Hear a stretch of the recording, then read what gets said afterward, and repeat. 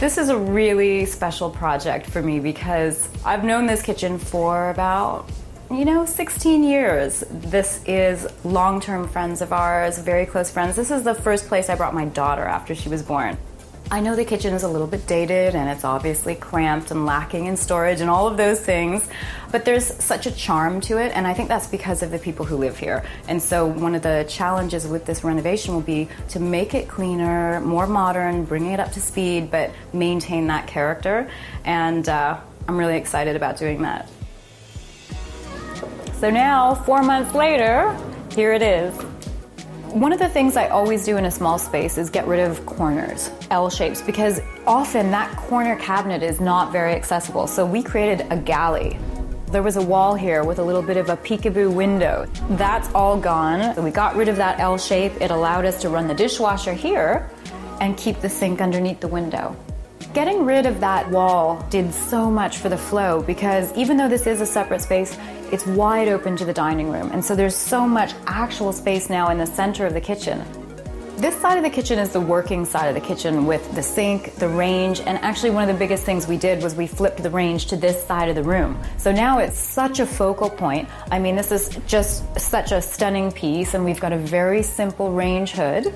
I think all cooks appreciate a proper range hood, and this Thermador piece is perfect. It balances this beautiful, beautiful range. I love this so much. I'm like, I'm having total kitchen envy.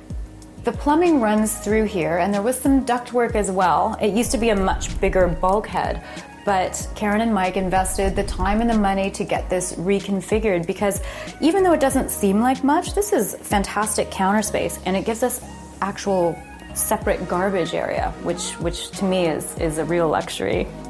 You can see with the style, we've stayed very, very classic. We want this kitchen to look beautiful 10, 20 years from now, and I think it will. So we've got the subway tile all the way to the ceiling with the dark grout. We've got the Carrara marble and these gorgeous shaker cabinets from Muti Kitchens. The width of this kitchen did not allow us to have a separate island. So instead, we've run this here as a breakfast bar, which is a great place just to have a cup of coffee, sit down, maybe have your breakfast. We've tried to make use of every space. So we've got a little cubby under here for all the components for the TV. This opens nicely and is accessible from here.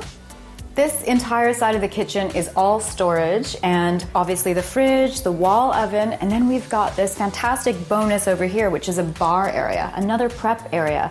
This is an entirely new prep space. And this was Karen's brilliant idea to flip the staircase. The old stairs you used to have to access from over there. So by moving them here, we've got a long counter, a wine fridge, and these gorgeous floating shelves. While we were at it, we actually did a little bit of a makeover in the back landing. And this is actually a really important space in this house because it walks to the backyard and there's a lot of entertaining that goes on in the backyard in the summer. The doors are new, we elongated them, and we've put in a little bit of fun jewelry, I'd say, with this chandelier from Lamp Cage. I have to say, I love this storage pantry. It's just, it's got the French doors, and actually, it houses all of the dishes, which is great. We decided to make it separate by having little bun feet rather than running the toe kick the whole way, and we've kind of got it framed as its own separate thing. Of course, one of the biggest sort of impactful things we did was remove the old terracotta tile from here and run hardwood all the way through, which makes the entire space feel so much bigger.